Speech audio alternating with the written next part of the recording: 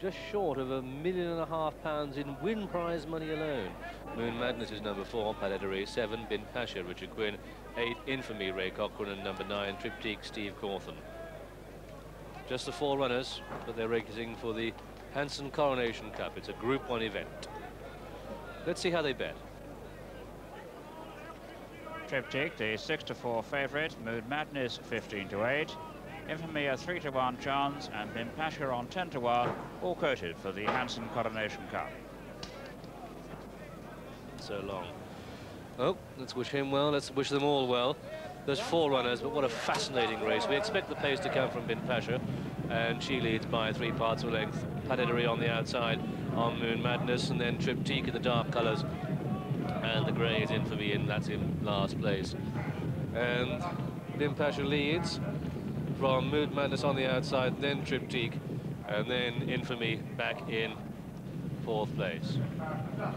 So, Bint Pasha leading from Moon Madness, really moving well on the outside. Infamy the grey back in third, and Triptych, see what a peculiar round action. She sort of comes down on the ground, doesn't she? And Triptych back in fourth place. But the ground might be just a bit too firm for her, and well, we don't know. We'll see.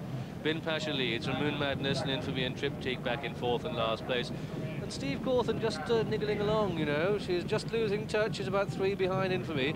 And that's a length and a half behind the leading pair who pass a mile pole now and it's Bint Pasha on the inside of Moon Madness. And Triptych, you know, is, uh, you know, she's just losing her place. She's going five behind now, and Steve Cauthen's having to ride her along.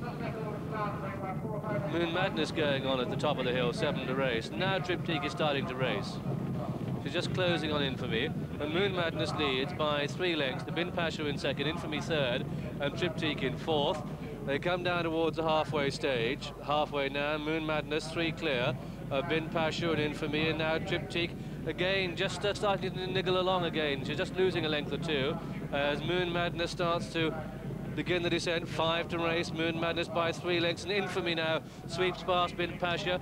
And uh, back in last place, Triptych trying to close. She is closing. They start the sweep round Tattenham Corner. And it's Moon Madness in the lead from Bint Pasha in second Infamy. And now Triptych on an even keel and closing.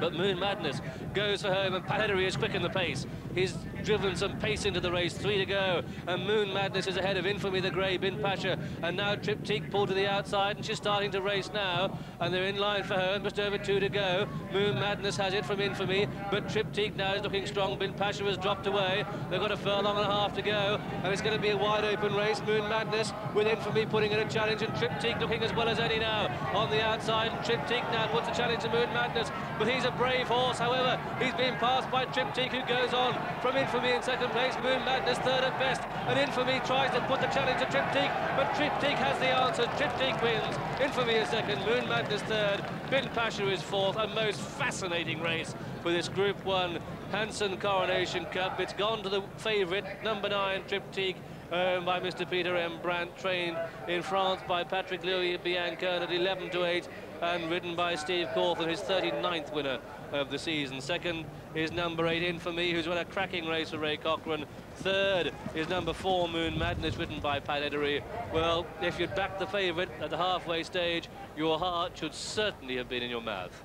But uh, only really when she turned into the home straight and she got on an even keel did she really start to race. And then she raced to such immediate effect. Great infamy at 4 to 1.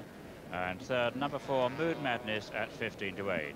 The tote paid £2.50 for the win and £3.50 for the dual forecast and four rounds.